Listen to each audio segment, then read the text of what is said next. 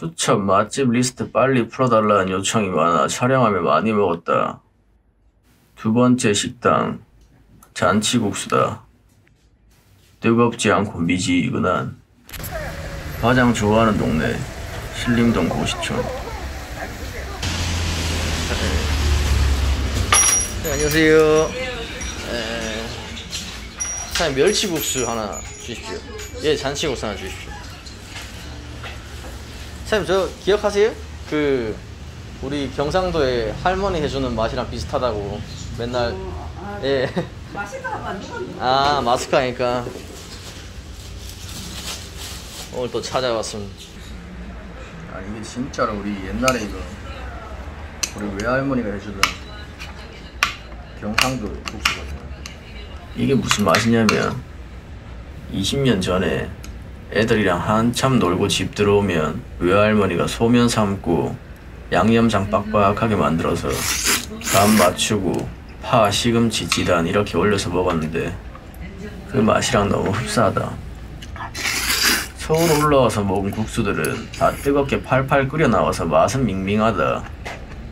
그런데 이곳은 국물이 뜨겁지 않고 뜨뜻 미지근하게 나오는 것까지 옛날 그 국수 맛이랑 굉장히 흡사하다.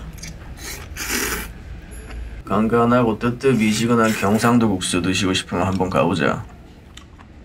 그리고 가봤으면 먹은 곳 좀 롱벅스 인스타로 보내주시면 감사하다.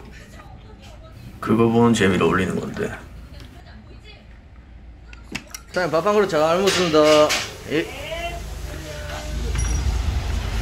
아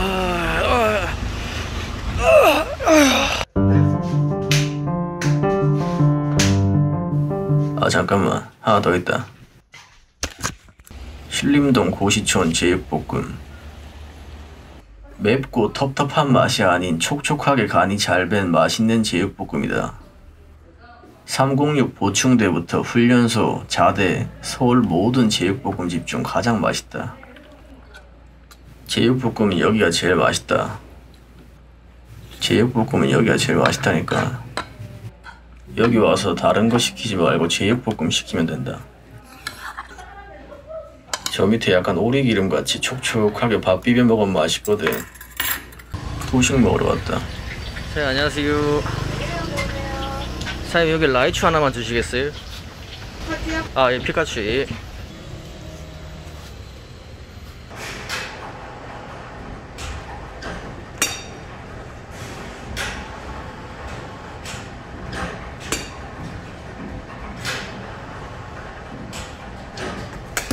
배부르게 먹고 왔다.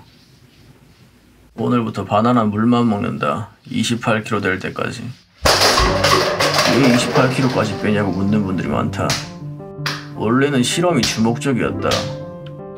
28kg가 되면 어떻게 변할까 궁금해서 92kg 대 달리기 속도, 힘, 여러 가지를 측정하고 영상으로 남겨뒀다. 그리고 87kg 때부터 얼굴 변화도 혹시나 하고 남기고 있었다. 사생활을 정말 중요하게 생각하는데 최근 많이 침범당하고 있다. 그래서 차라리 얼굴 변화도 올릴 생각이다. 많은 분들이 이 캐릭터를 좋아해 주시고 공개를 원치 않으시는 분들도 있다. 적절히 조정해서 모든 변화를 그대로 보여드리겠다. 그게 제일 처음 유튜브를 시작한 궁극적인 목적이다. 정말 극단적인 변화가 있었을 때 수치에 어떤 차이가 있을까, 모습에 어떤 차이가 있을까 궁금하다. 자극적인 걸 찍으려는 게 아니라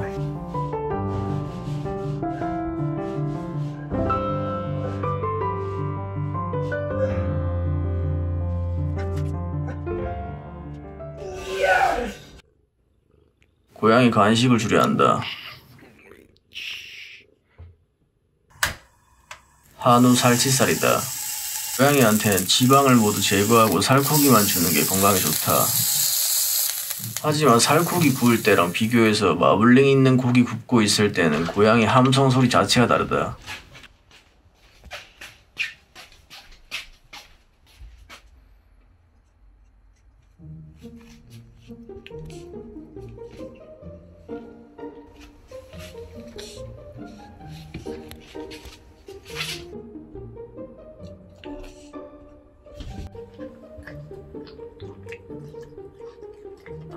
그 집에 왔던 사람들한테 미안한데 김치찌개 끓일 때 김치 잘랐던 도마가 지금 이 도마다.